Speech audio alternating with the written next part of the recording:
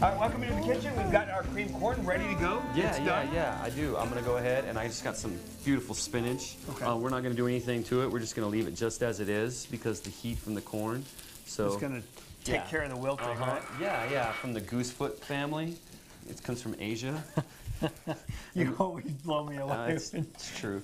I, I feel like I'm in a history I lesson have of uh, cream vegetables corn. here. Yeah, the test will be later. Yes, I've been taking notes. Yeah, and then I have um, some uh, tomato coulis, which coulis is just a that? fancy name for a sauce that's made from a vegetable or a fruit that's been pureed.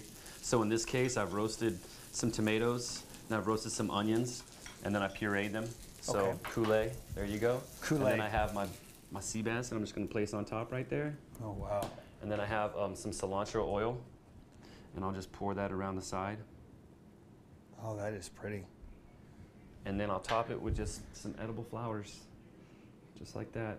Doesn't that look nice?